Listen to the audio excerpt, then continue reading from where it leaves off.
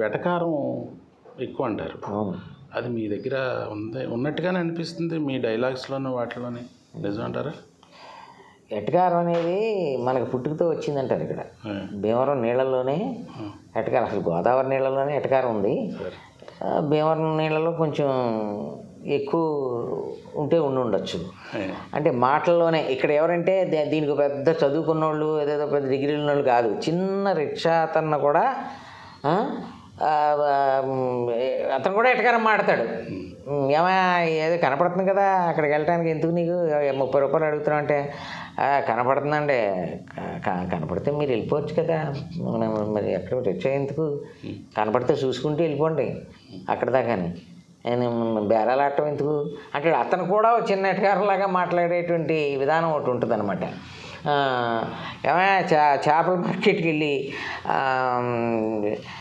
చేపలు తింటే కళ్ళకి మంచిది కదా అన్నాడంట ఒకడు అంటే చేపలు తింటే మీ మీ కళ్ళకి మంచిదే కానీ తినకపోతే ఆటికి మంచిది అన్నాడు అంటాడు అయిపోతుంటాయి. ఇలాంటి ఎటకారాలు అవును. అంటే ఎన్ని అలవగ్గా వచ్చే మాటలు అనమాట మనం అది ఏంటంటే ఇప్పుడు జనరల్గా ఒక పుష్కలంగా పంటలు పండుతూ హాయిగా సెక్యూర్డ్గా హ్యాపీగా లైఫ్ ఉండేటువంటి విధానం సామాజికంగా ఎప్పుడు ఉంటుందో వాళ్ళకి ఇలాంటి కళలన్నీ అబ్బుతుంటాయి అనమాట అది స్వతహాగా వచ్చింది. మీరు స్వతహాగా కూడా మీరు లెక్చరర్గా ఉన్నప్పటి నుంచి కూడా. ఇది హ్యూమరస్ ఉండేది ఏంటండి? ఎప్పుడు? అసలు రైట్ ఫ్రమ్ ది బిగినింగ్ సరదాగా ఉండటం అనేది అలవాటు. ఆ జోకులు వేస్తూ ఉండటం ఉండనోడిని చూస్తే ఆడు ఉండేలాగా చేయటం సరదాగా. అట్లా అవన్నీ మొదటి నుంచి క్లాస్లో స్టూడెంట్స్ వెనక వైపు నుంచి వెళ్ళిపోయేవారంట కొంతమంది క్లాసులు చెప్తా ఉంటే లెక్చర్ మీ క్లాస్కి కావాలని అటెండ్ అయ్యేవారంట. ఎందుకు జోకులు ఇందామని అంటే కావాలని అటెండ్ అవ్వటం అంటే ఏంటంటే వాళ్ళకి ఫస్ట్ ఆఫ్ ఆల్ ఎడ్యుకేషన్ అనేది యాబ్సెంటీజం రావటానికి పారిపోవటానికి ఈ క్లాసులు ఏంట్రా బాబు ఈ సెషనల్ మార్కుల గురించి కూర్చోవలసి వస్తుంది అను అనుకోవటానికి కారణం ఏంటంటే అది ఒక రొటీన్ వేలో పాఠాలు చెప్పడం కానీ బోర్ కొట్టించడం కానీ ఇవన్నీ చేయటం వల్ల ఇప్పుడు లేకపోతే మనం చదువుకోవచ్చులేరా బాబు బోర్ కొడుతుంది క్లాస్లో అని. అది అట్లా ఉండకుండా వాళ్ళకి కొంచెం ఒక ఇంట్రెస్ట్ క్రియేట్ చేసి ముందు వాళ్ళకి ఏది ఇంట్రెస్టో అది మాట్లాడతాం మనం. మనం నెమ్మదిగా వాళ్ళని మనలోకి ఫోకస్ చేసుకునేలాగా చేసుకుని చెప్తే ఎంతో వేస్ట్ అవుతుందండి టైము. అంత ఉన్న మొత్తం ఉన్న టైంలో forty minutes forty minutes hour అనుకోండి మీరు five minutes it takes time to draw their focus. ఆ ఐదు నిమిషాల కోసం వేస్ట్ అయిపోయింది అనుకుంటే మొత్తం పీరియడ్ అంతా వాళ్ళు బోర్ కొట్టి మొత్తం వేస్ట్ అవుతుంది. నువ్వు చెప్పేది వాళ్ళకి అర్థం అవ్వదు టోటల్ వేస్ట్ అవుతుంది. అలా కాకుండా ఒక త్రీ మినిట్స్ దీన్ని షార్పనింగ్ ది సా అనేవారు షార్పనింగ్ ది సా అంటే రెండు చెట్లు ఇద్దరికి ఇచ్చారంట. రెండు రంపాలు ఇచ్చారంట. ఒకటే టై టైప్ చెట్టు. ఒకటే రకం ఒకటే మాను ఒకటే అది అది దాన్ని కొయ్యాలి. సేమ్ సిమిలర్ రెండు చెట్లు కొయ్యమన్నట్టు. ఒకడు కోస్తానే ఉన్నాడు. ఒకడు కోయకుండా రెండు నిమిషాలు రిలాక్స్ అయి కూర్చున్నాడంట. ఈ రిలాక్స్ అయి కూర్చున్నాడు ముందు కొట్టేశాడు చెట్టు. కోసేసాడు రంపంతో ఎలా అండి? ఎలాగా? ఆడు కోస్తానే ఉన్నాడు. నాన్ స్టాప్గా అసలు రెస్ట్ తీసుకోకుండా కోస్తానే ఉన్నాడు.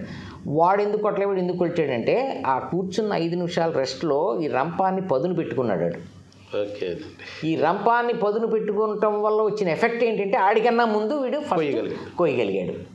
ఇదే దీనికి అప్లై అవుద్ది. టీచింగ్లో కూడా మనం షార్పెన్ చేసుకుంటే మన స్కిల్స్ని కానీ టీచింగ్ స్కిల్స్ని కానీ చిన్న హ్యూమర్ కానీ చిన్న కమ్యూనికేషన్ వాళ్ళకి చెప్పే విధానంలో ఉండే స్కిల్ని కానీ అన్నీ డెవలప్ చేసుకుంటే ఏమంది? దానికి ఎక్కువ టైం పట్టదు.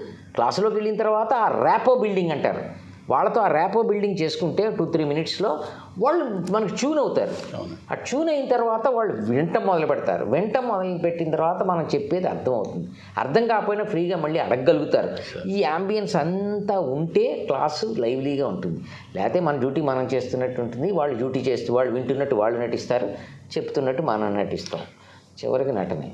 సార్ ఇప్పుడు మీరు మీ ఇంటి పేరు ఏంటో మర్చిపోయారు అందరూ. అవును. ఇప్పుడు మీ ఇక్కడికి వచ్చిన తర్వాత కూడా ఇప్పుడే అన్నారు కదా మీరు గిరిజాల జుట్టని. అదే అదే అది ఆ, గిరిజల మొత్తం జుట్టు ఏమైపోయింది సార్? ఏమంటే మీకు బోల్డ్ ఉంగరాలు ఉన్నాయంటే అన్ని అప్పులు చేసేవాడు ఉంగరాలు అమ్మి ఒక్కొక్క ఉంగరం తీసి అమ్మేసాను అన్నట్టు. మీరు ఒక రెండు ఇంటర్వ్యూలో చెప్పారు. నాకు మేము కూడా ఫోటోలో నా చూసాం ఒంటి పేరు. ఒంటి పేరు ఇంటి పేరు అయిపోయింది సార్. అవును అవును నా ఒంటి పేరు ఇంటి పేరు అయిపోయింది. ఎలా ఏమైపోయినాయి సార్ ఉంగరాలన్నీ? అన్నీ అదే కదా చెప్పాను కదా మీకు. ఉంగరాలు ఒక్కొక్కటి ఇప్పుడు ఆ, తాకట్టు పెట్టేసాం ఉంగరాలని నేను అన్నీ అయిపోయినాయి. అంటే యాక్చువల్గా చెప్పుకోవడానికి బాగుంటుంది. ఉంగరాలు జుట్టు ఉండేది అది ఉండేది ఉండేది. ఇప్పుడు నాకున్న సుఖం ఎవరికి తెలుస్తుంది? గుండు గుండు బాగా సుఖం అంటారా? గుండు ఉన్నంత సుఖం. మీరు ఏం చెప్పండి దానికి ఏం మెయింటెనెన్స్ ఉంది జుట్టు? దూకుంటూ ఉండాలి. జాగ్రత్తగా మళ్ళీ ఉంగరాలు చిక్కులు తీసుకుంటూ దూకుంటూ ఉండాలి. లేకపోతే ఇప్పుడు సన్నకారు ఇప్పుడు వంద ఎకరాలు ఉన్నాడు పర్వాలా? ఇప్పుడు సన్నకారు అయితే నాలుగు ఎకరాలు పోకుండా జాగ్రత్తగా చేసి ఊడిపోయి అనుకోండి. చూడండి ట్రాఫిక్లో వెళ్తూ కూడా ఏ కారు పక్కన నిలబడారు ఏమున్నా లేకపోయినా పెన్ను కూడా ఎవరి దగ్గర ఉండదు. ఆ దువ్వెన మాత్రం ఉంటుంది. దువ్వెన తీసి ఆ అద్దంలో పక్కన కారు ఆపితే కూడా ఆడు దువ్వేసుకుంటూ ఉంటాడు. జాగ్రత్తగా కాపాడుకోవాలి కదా. అవునండి. ఉన్నంతకాలం జీవితం అంతా జుట్టు కాపాడుకోవటం హెయిర్ వీవింగ్ చేసుకోవటం ఎన్ని టెక్నిక్స్ డబ్బు డబ్బు దానికి కట్ ఇప్పుడు ఏమని చెప్పండి హాయిగా? మీరు కాలేజీలో ఉన్నప్పుడు ఎంతకాలం దువ్వెన మెయింటైన్ చేశారు సార్? ఎవరు? నేనా? సన్నకారు అయితే నేను టైంలో ఎంతకాలం మెయింటైన్ చేశాను అవునండి. నేను అసలు అలా ఆ దువ్వెన పెట్టుంటే ఆ ఇంకా ముందు పోయేవి. జుట్టు అంటారా? ఆ నాలుగుకి కూడా దూతుంటే ఆ ఉన్న బలం కూడా ఊడిపోయి అది కూడా పోయేది. ఆ నాలుగింటికి కూడా అట్లా కాకుండా ఇండస్ట్రీకి వెళ్ళిన తర్వాత ఏదో ఫస్ట్ సినిమాలో చిత్రం సినిమాలోనో ఎందులోనో ఆ గుండుతో కనపడ్డాను. అది బాగుంది. తర్వాత అడిగినా కూడా డైరెక్టర్స్ ఇది బాగుందండి ఇలాగా నున్నగా ఉంది మెలమెలాడుతుంది బాగుంది. గుండుతో చాలామంది ఉన్నా కూడా గుండు సుదర్శన్ నాకే పేరు వచ్చింది Hey. అర్థం దాని చేత ఉంచేయండి ఉంచేసుకోండి అలాగా. నాకు వెనకాల పెరుగుతుందండి పెంచుతాను. వద్దు చుట్ట కుదురులాగా వెనకాల పెంచడం అవన్నీ వద్దండి ఇలా ఉంచండి హాయిగా పొనకాయలాగా ఉండడం అట్లా. కంటిన్యూ చేసి. సరే పొట్టి వాళ్ళు చాలా గట్టి వాళ్ళు అంటారు కదా సార్. ఒకప్పుడు తెనాలి రామకృష్ణ కూడా సరిపడే హైట్లో ఉండేవాడు అంట. ఇంచుమించు మీరు పొట్టివారు. మీరు గట్టివారు అంటారా? అది జనం చెప్పాలి కదా. గట్టివారే కదా సార్. ఎలాగంటే ఒక రకంగా మీరు నటన వృత్తి అయినప్పటికీ కూడా అవును. మీరు ఎన్ని ఇప్పుడు నాకు చెప్పారు. అవును. కన్యూమర్ నేషనల్ వైడ్గా అది అవేర్నెస్ క్రియేట్ చేయడంలో చేస్తున్నాం. అలాగే. సైకాలజీ పరంగా మోటివేషనల్ ఇన్స్పిరేషనల్ చేస్తున్నాం. ఇవన్నీ ఎందుకంటే మన జీవితాన్ని ఒక కోణంలోనే మనం కాకుండా మన మనలో ఉన్నది ఆ, ఏంటి అనేది మనకు తెలిస్తే దాన్ని పది మందికి మన ఆనందం పొందుతూ ఆనందాన్ని పంచడానికి ఈ మార్గాలు ఉన్నాయి కదా అని మనకి అర్థమవుతుంది. అర్థమైనప్పుడు ఆ మార్గాల్లో వెళ్ళినప్పుడు ఆనందం మనం పొందుతాం ఇంకోళ్ళకి కూడా ఆనందం ఇవ్వగలుగుతాం. సో నేను షూటింగ్స్ మాత్రమే కాకుండా ఈ కార్యక్రమాలన్నింటిలో కూడా నేను పార్టిసిపేట్ పైగా we will be among the youth కాలేజీలకు వెళ్ళి అక్కడికి వెళ్ళి ఇక్కడికి వెళ్ళి అందరితోటి యూత్లో పార్టిసిపేట్ చేయటం వల్ల కూడా మన ఎనర్జీ లెవెల్స్ చాలా బాగుంటాయి. వాళ్ళతో ఇంటరాక్ట్ అవుతుంటాం జోకులు ఇస్తుంటాం వాళ్ళకి కావాల్సినవి చెబుతుంటాం వాళ్ళు ఏదో అడుగుతుంటారు. ఒక different atmosphere from shootings shooting నుంచి ఇంకో డిఫరెంట్ ఇప్పుడు నిన్న రాగా షూటింగ్ చేశా. ఇవాళ ఇక్కడికి వచ్చేసాను. అవునండి. ఇవాళ స్టూడెంట్స్తో గడుపుతాం అనుకోండి మళ్ళీ వెంటనే మళ్ళీ షూటింగ్ యాంబియన్స్ మారుతూ ఉంటుంది. మన యొక్క ఇంటరాక్షన్ మారుతూ ఉంటుంది. మనం ఎప్పుడు ఆరోగ్యంగాను లైవ్లీగా ఉంటాం. అయితే భీమవరం అంటే మీకు చాలా మమకారమేమో పుట్టినూరు కదా? బాగా. ఎందుకంటే మీరు భీమవరానికి ఇంచుమించు నెలకు రెండు నెలలకు ఒకసారి ఖచ్చితంగా వస్తారు. వచ్చినప్పుడల్లా మీరు ఎక్కడైతే పని చేశారో ఒక పదిహేడు ఏళ్ళ పాటు. ఈ కాలేజీకి మాత్రం రావటం ఆహా, లేదు మా అన్నం. మీకు బాగా భీమవరం అంటే మమకారం. భీమవరం అంటే మమకారం ఎక్కువ. ఇక్కడ విఎస్కే డిగ్రీ కాలేజీ నాకు వా- బబిల్శెట్టి పట్టాభి గారి ఆత్మీయ మిత్రుడు. ఆయన కూడా నన్ను వాళ్ళ కాలేజీకి అప్పుడప్పుడు గెస్ట్గా ఏదో ఫంక్షన్కి పిలుస్తూనే ఉంటారు.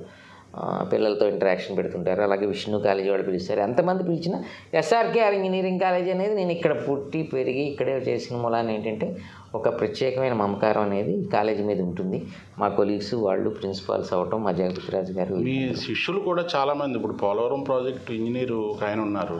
ఆయన మీ శిష్యుడు అంట. అలాగే తెలంగాణలో వచ్చి మిషన్ భగీరథ. అవునవును ఉన్నారు. విష్ణు భగీరథ. ఆయన పేరు ఏదో పాపారావు ఏదో అన్నారు.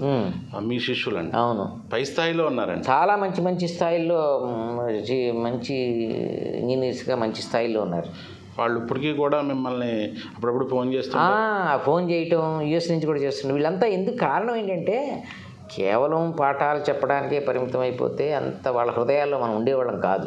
నేను కల్చరల్ యాక్టివిటీస్ కూడా ఇన్ఛార్జ్గా ఇక్కడ ఉండేవాడిని.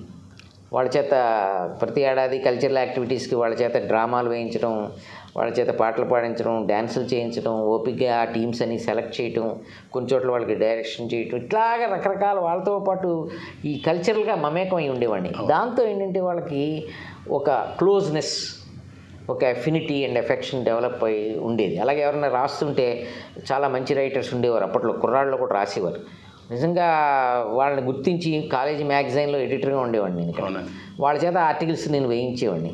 వాళ్ళు చాలా బాగా రాసేవారు వాళ్ళు. వాళ్ళు ప్రొఫెషన్గా రైటర్గాను పోయిట్స్గాను తీసుకోలేదు కానీ ఇంజనీర్స్గా వెళ్ళిపోవటం వల్ల కుదరక వాళ్ళు చేయలేదు కానీ దేవర్ వెరీ గుడ్ రైటర్స్ అటువంటి వాళ్ళందరూ ఆ మ్యాగజైన్లో వాళ్ళు రాసి పొంగిపోయేవారు.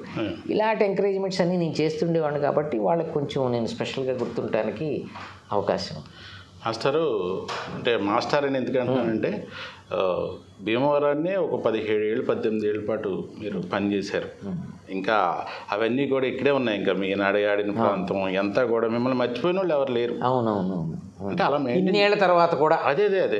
మీరు ఒంటి పేరుని ఇంటి పేరుగా మార్చుకున్నా మీ ఉంగరాల జుట్టును మర్చిపోలేదు మేము. అవును? అలాగే ఇక్కడ వాళ్ళు కూడా ఎవరు ఉంగరాల జుట్టును మర్చిపోలేదు. మా ఉంగరాలు మా జుట్టు మాస్టరే అంటారు ఇక్కడ. గుండు సుదర్శన్ రావు అంటారు కదా సార్. అవును అనరు కదా. ఎందుకంటే అప్పుడు ఉంగరాలు చుట్టూ మేస్టర్. మీ ఇంటి పేరు ఏంటి సార్ అసలు? మాకు ఒకసారి చెప్పండి ఇంటి పేరు నాకు తెలియదు ఇంటి పేరు సూరంపూడి. సూరంపూడి.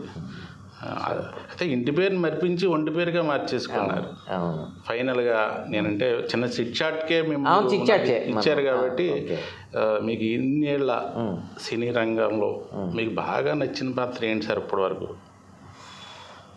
అంటే ఇది సాధారణంగా జనరల్గా రెగ్యులర్గా అడిగే ప్రశ్న అడిగే ప్రశ్నే కానీ నాకు జనంకి ఇష్టపడి అందులో భలే మీరు మాకు ఇష్టం అని ఏదైతే జనం అన్నారో అదే నాకు ఇష్టం అంటే నిజానికి నీ నాకు ఇష్టమైన పాత్రలు చాలా ఉన్నాయి. చేయగలిగినవి చేయాల్సినవి సాహిత్యంలో రాసినవి మన హాస్య రచనల్లో రాసినవి చాలా పాత్రలు ఉన్నాయి కానీ అవి రావటం అనేది ఒక అదృష్టం అవకాశం అనేది ఒక అదృష్టం. మారుతున్న సినిమా ప- పద్ధతుల్లో మనకు వస్తున్న పాత్రలే చేసుకెళ్తాం. మొదటి నుంచి కూడా చూస్తే నాకు ఎన్టీ రామారావు గారితో పెద్ద ఆయన వారితో విశ్వఖ్యాత నటి సార్వభౌమ ఎన్టీ రామారావు వారితో చేసిన శ్రీనాథ కవి సార్వభౌముడు దాంట్లో గణపతి పాత్ర నాకు చాలా ఇష్టమైంది. చిరునవ్వులో పాత్ర ఇష్టం నాకు. అలాగే శ్రావణి సుబ్రహ్మణ్యంలో పాత్ర ఇష్టం. ఎలా చెప్పంలో పాత్ర ఇష్టం. అతడులో పాత్ర ఇష్టం. కలేజాలో పాత్ర ఇష్టం. తర్వాత మన మొన్న మొన్న టచ్ చేసి పాత్ర ఇష్టం. ఇప్పుడు లేటెస్ట్గా ఇప్పుడు నేను చేసిన చే హ్యాపీ బర్త్డే అనే సినిమాలో టోటల్గా డిఫరెంట్ క్యారెక్టర్. ఎవరు ఊహించినటువంటి క్యారెక్టరు. మొత్తం త్రూఅవుట్ సినిమా. నేను వెన్నెల కిషోర్ సత్య కాంబినేషన్లో ఉంటాయి సీన్లన్నీ. చాలా బాగుంటాయి. రివ్యూస్ అన్నీ కూడా ప్రెస్ చాలా అద్భుతంగా రాశారు. ప్రత్యేకంగా నా గురించి కూడా రాశారు. అది అసలు ఆ గెటప్ కానీ ఆ వెరైటీ ఒక డాన్ లైక్ గెటప్లో ఉంటుంది. చాలా బాగుంటాయి సీన్లని నెట్ఫ్లిక్స్లో ఆల్రెడీ రిలీజ్ అయ్యి థియేటర్లో. ఇప్పుడు నెట్ఫ్లిక్స్లో టెలికాస్ట్ అవుతుంది. నెట్ఫ్లిక్స్లో స్ట్రీమింగ్ అవుతుంది. వీలైతే చూడండి చాలా మంచి నాకు ఇష్టమైంది అదొకటి. సో ఇలాగా జనంలోకి ఏవైతే వెళ్ళాయో మీరు బాగా చేశారన్నవని నాకు ఇష్టమైనవే. బట్ చెయ్యబోయేవి ఇంకా మంచివి చేస్తున్నాను. కొన్నాళ్ళ తర్వాత అయితే అప్పుడు బాగా ఇష్టమైన పాత్రలు చెప్పగలిగే అవకాశం నాకు. మా మాస్టర్ చాలా మల్టీ టాలెంటెడ్ పర్సన్ అండి. అయితే ఆయనలో కవి రైటర్ కూడా ఉన్నారు. అవును. వాళ్ళు ఎందుకు బయటకు రావటం లేదు సార్ ఓన్లీ ఆ, ఈ ప్రశ్న నన్ను మా సిరివెన్నెల సీతారామ శాస్త్రి గారు కూడా చాలాసార్లు నన్ను అడిగారు. ఏమండి మీరు సినిమాల్లో ఎందుకు చాలామంది. రైటర్గా వచ్చి తర్వాత నటుడు అవుతారు ఆ, నేను నటుడయ్యి రచయిత అవ్వలేదు. అదే. నటుడై నటుడుగానే ఉన్నా. కానీ మ్యాగజైన్స్లో విపుల్లో కానీ చిత్రుల్లో కానీ ఆంధ్రజ్యోతిలో కానీ పేపర్స్లో కానీ వాటిలో చాలా నాకు నా ఆర్టికల్స్ చాలా వచ్చాయి. చాలా వచ్చాయి. ఆ సందర్భాలన్నీ కూడా ప్రత్యేకంగా గుర్తింపు కూడా పొందాయి. అలాగే సీతారామ శాస్త్రి గారి మీద నేను రాసినటువంటి చంద్రునికో నూలుపోగు సిరి సిరివెన్నెలకో ఆ, నూరిపోవు అని ఆయన అవార్డు తీసుకున్నప్పుడు రోజు ఆంధ్రజ్యోతిలో పేపర్లోనే ఆ రోజు ఆయన ఢిల్లీలో తీసుకుంటుండగా ఇక్కడ అది వచ్చింది. అది ఆయన చదివి అక్కడి నుంచే ఫోన్ చేసి ధన్యోస్మి మిత్రమా అన్నారు. ఏం సార్ ఏంటి అన్నా? ఏంటంటే ఎంత బాగా రాశారు మీరు? నా గురించి మొత్తం నా జీవితాన్ని ఒక బయ ఆర్ట్ అంటే బయోపిక్ తీస్తే ఒక పేజీలో ఎలా ఉం- ఇలా బయోపిక్ తీస్తే వన్ పేజీలో తీస్తే ఇలా ఉంటుంది అన్నట్టు రాశారు ఒక్క పేజీలో మీరు. అంత చాలా బాగుంది. ఎన్నో ఇంటర్వ్యూలు యానిమేట్ చేసిన ఉన్నాయి ఆయన గురించి రాసిన వ్యాసాలు ఉన్నాయి. కానీ మీరు రాసిన చదువుతుంటే చాలామంది యూఎస్ నుంచి అక్కడి నుంచి కూడా ఆయన ఫ్యాన్స్ అది మీరు యూట్యూబ్లో సిరివెన్నెల ఆత్మ పలుకులను కొడితే వస్తుంది. నేను ఆయనకి చదివి వినిపించటం ఆయన ముచ్చటపడి ఆహా ఓహో అని ఆనందపడటం చిన్నపిల్లలాగా వాళ్ళు ఈయన అభిమానులు అంతాను ఇద్దరు చిన్నపిల్లలు కూర్చుని ఆనందపడుతుంటే ఎలా ఉందో అలా ఉంది చూస్తుంటే అటువంటి మహాకవి చేత ఆహా ఓహో అనిపించిన మీరు ధన్యులు అని నాకు కాంప్లిమెంట్స్ పెట్టి అది చాలా అద్భుతం. అలా రాస్తుంటాను. నాకు ఇష్టమైనప్పుడు రాయటమే తప్ప దాన్ని నేను ప్రొఫెషన్గా చేసుకోలేదు. నేను ఎక్కడైనా ఈ డైలాగ్ ఓరియంటెడ్ వెర్షన్స్ అవి సరదాగా మనం చేసేటప్పుడు రాసిన డైరెక్ట్ లేదు సరదా రాయించుకున్న చోట రాయటమే తప్ప ప్రొఫెషనల్గా ఎప్పుడు రాయలేదు. వాళ్ళని అలా పక్కన ఉంచాను అంతే. ధన్యవాదాలు సార్. థ్యాంక్ యూ అయితే మన సుదర్శన్ రావు గారిని చూస్తే ఎప్పుడూ నవ్వుతానే ఉంటామేమో. నేను ఇక్కడికి రాగానే ఆయన చూడగానే నవ్వు వచ్చింది. నవ్వటం అంటే అది. నవ్వించడం కూడా ఆయనకి ఎప్పుడూ నవ్వుతానే ఉంటారంట. మనం చెప్పారు ఇప్పుడే ఇంట్లో కూడా నవ్వుతానని. అలాంటి సుదర్శన్ రావు గారు ఫ్యూచర్లో మరింత భవిష్యత్తులో పైకి వెళ్ళాలని మన సుమన్ టీవీ తరఫున కూడా కోరుకుందాం. ఇది తాజా ఎపిసోడ్. మరో ఎపిసోడ్తో మీ ముందుంటా.